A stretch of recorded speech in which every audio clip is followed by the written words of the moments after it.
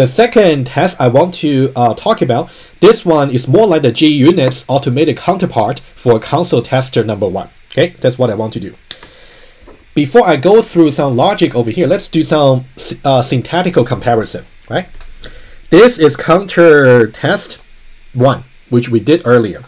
This is the new one. I simply say test decrements from the minimum value, which means we're gonna expect some value too small exception to be thrown. Okay, I want you to see the following correspondence over here. You can see we have to initialize some counter over here in both cases, right? And then you can see in this case, when we try to print out the initial value, which uh, expecting to be zero uh, output to the console, in the case of JUnit test, we say assert equals and then make sure they are actually equal to the minimum value over here. Okay, that's the uh, first correspondence I want you to see, the first one. Okay, what about the try and catch block? They are pretty much similar. So you can see we got try and also catch over here, and we got try and also we got catch.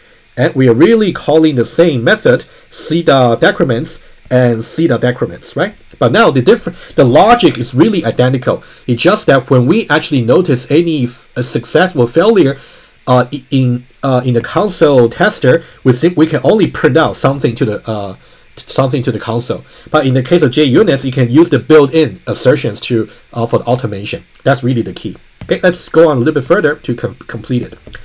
In the case of success, which means the exception was really uh, thrown, in that case, remember to really pass a test, what's the most trivial way? You simply do nothing. That's why the green part corresponds to the success in the console tester over here. That's about success. What about failure? For failure, let me use uh, maybe blue. For failure, you can see in the console tester we explained before, you will simply put uh, print out error message to the console. But now in this case, we can uh, we can say fail, which will fail the assertion. Okay, just remind you once more, doing nothing is the most trivial way.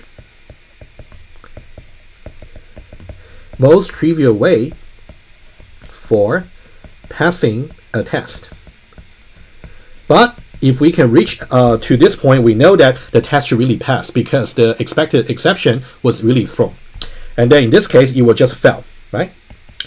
All right, so hopefully you can see the correspondence, so I don't need to repeat uh, the logic uh, to you. But I do want to illustrate very quickly on the Eclipse to really make sure you can also reproduce the experiment yourself.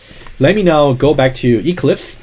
You can see under the same project here, under tests, you will see test counter, okay?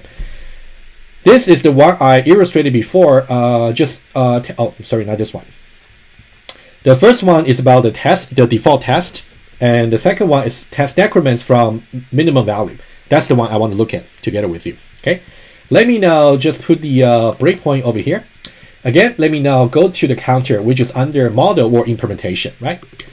We'll talk about decrements. Let's make sure. Okay, currently this implementation is correct. Let's go for the correct uh, correct workflow, uh, the correct execution flow.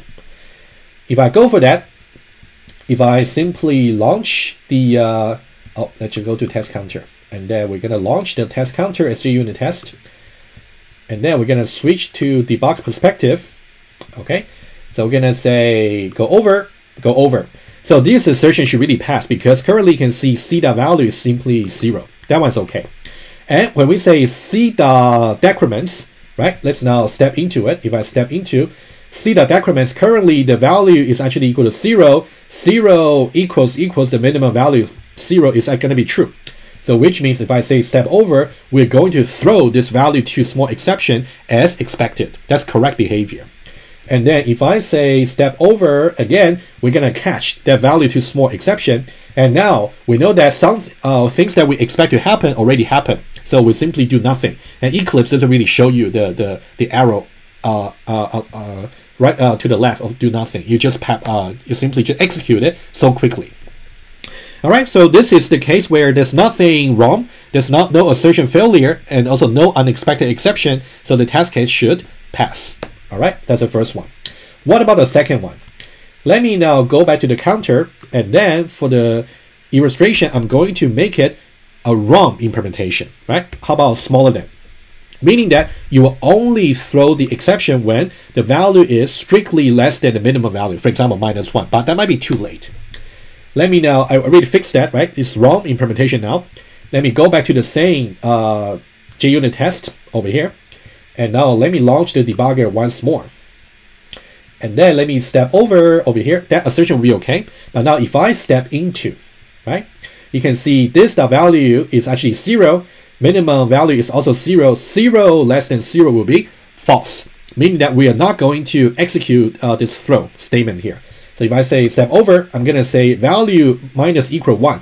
And that one is going to mistakenly uh, decrement the value for the counter into minus 1. You, you, can also double check that the value has become minus 1 here. So that's actually wrong.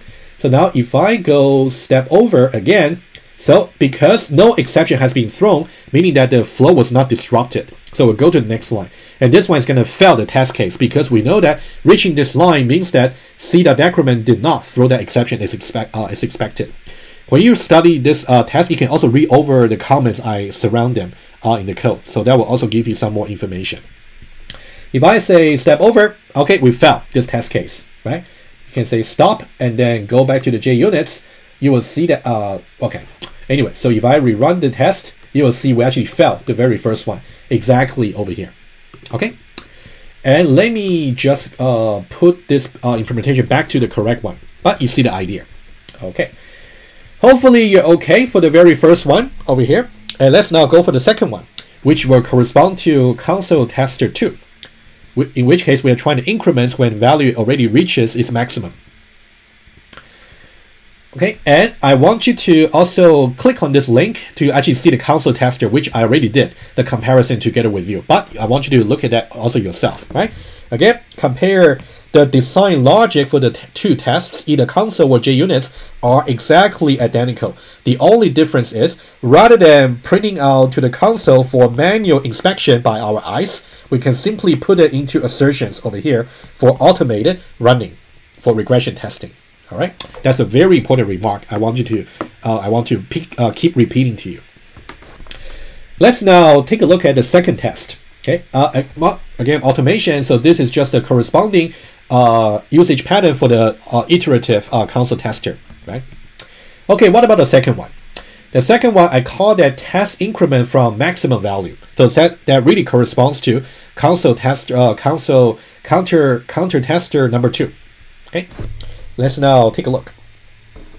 Very similar idea. However, I want to point out one thing to you, which will be also uh, will also be asked to you as an exercise. Okay, if you recall very quickly, this is a nested try and catch. We got the outer catch, try and catch. We got the inner try and catch, and then we actually got also this console tester, uh, counter tester number two, which we explained in detail earlier.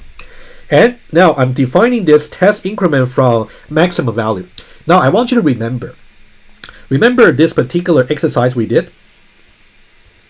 Let me show to you. This uh, exercise over here, right? In which case, I'm, I'm still having a console tester, but the alternative simply kind of a uh, uh, remove, kind of move the uh, inner try and catch into a try and catch block after the try and catch, so we don't have the nested try and catch. Right, that's the exercise we did earlier, and we said that in the case of console tester uh, printing out to the console application, this would not work appropriately because even after the error has been printed over here, we will still continue to execute this part for the manipulation, manipulation for the counter, which is not appropriate, right?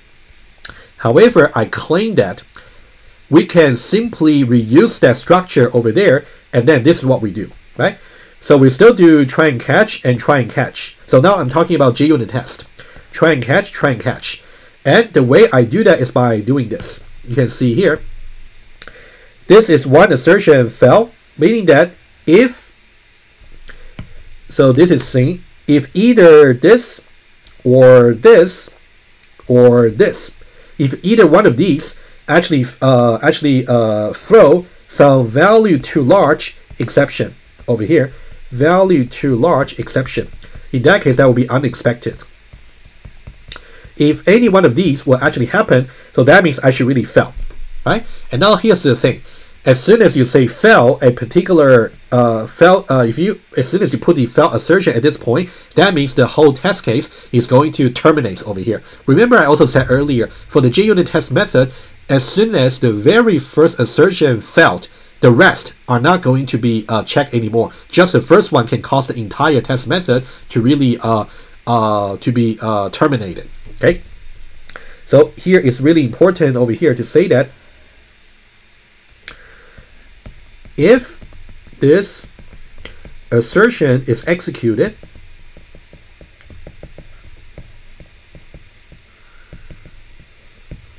the entire test method will terminates and fail.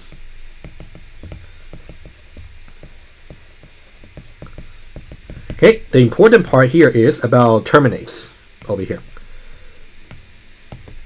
Okay, it's going to terminates, which is a different behavior from the uh, con uh, console tester counterpart. Okay, let's say if none of them actually will, let's say the other way, if none of them will actually throw that uh, exception, in that case, we are just going to make sure the counter value will reach its maximum. And then what we will do is we're going to actually try to do a fourth increments over here. And that one there, we do expect the exception to be thrown. In that case, if it's really thrown and break uh, and disrupt the uh, execution flow, so that will be do nothing to actually pass the test. So this is where the test can pass by doing nothing. On the other hand, if we actually say if somehow increment was not really implemented correctly, and then it actually did not throw that particular value too large exception. That means we'll go to over here alternatively, and then that one should really fail, right? So this will actually be a failure because the value too large exception not thrown as expected. The logic of this uh, test method here is very similar as before, but I think I want you to really see the uh, the detail line by line uh, reasoning. Okay. Recap. In the case of console tester, we must use nested try and catch. We must. Otherwise, you can you can run into the situation where even if an error actually occur, you uh, even if an error actually occur, you still cannot go to. You can still go to the uh, try and catch uh, that will actually uh, uh, further manipulate the objects, right? That's in the alternative version.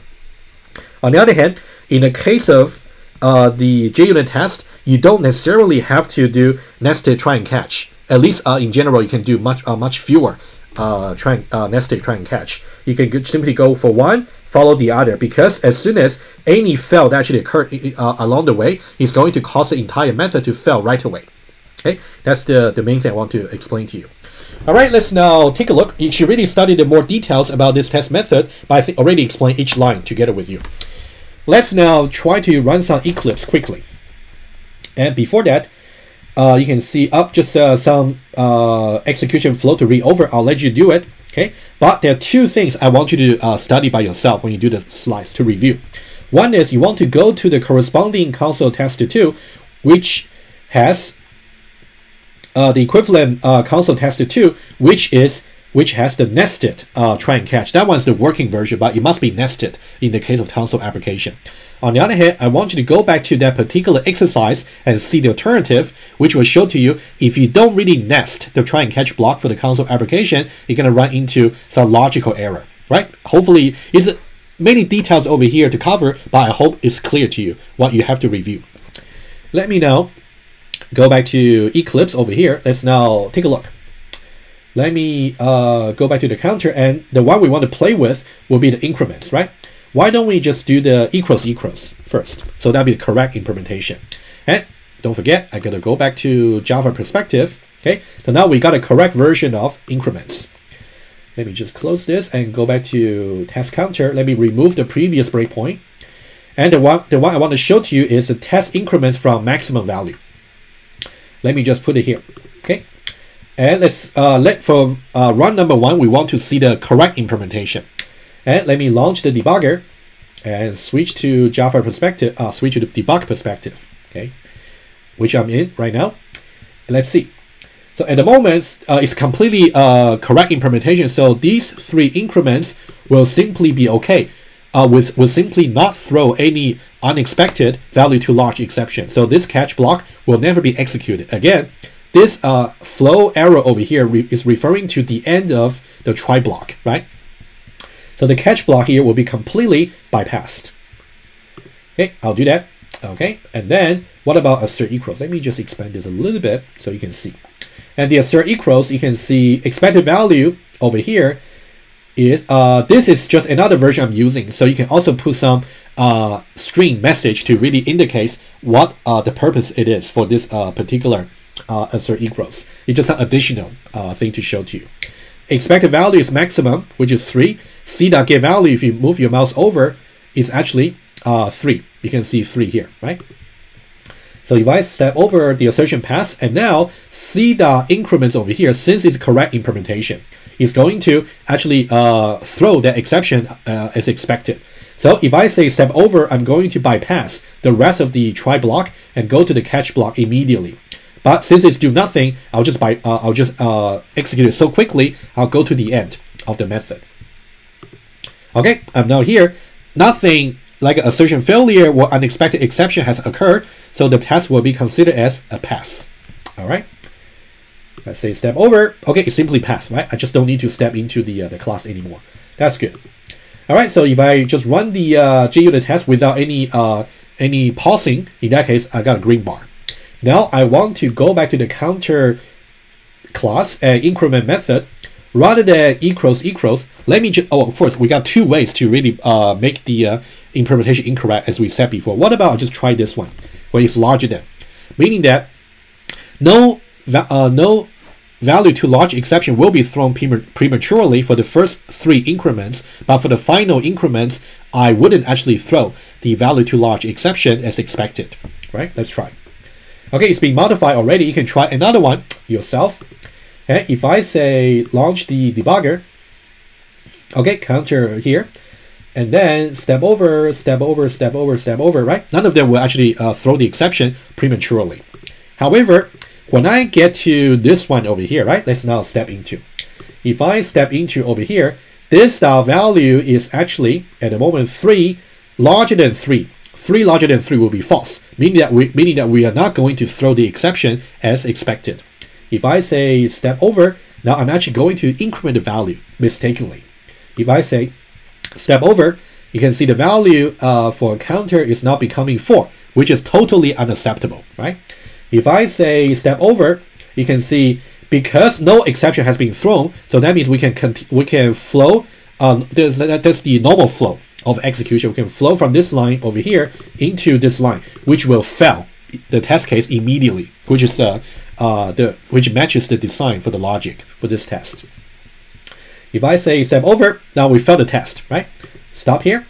And now if I say run the test without hesitation, you can see this is the test uh, that actually showed to you, you're really expecting that exception to be thrown, but it was not thrown. It really illustrates the value for a test case. When your implementation is incorrect, it can tell you that, no, you have done something wrong. You got to fix it.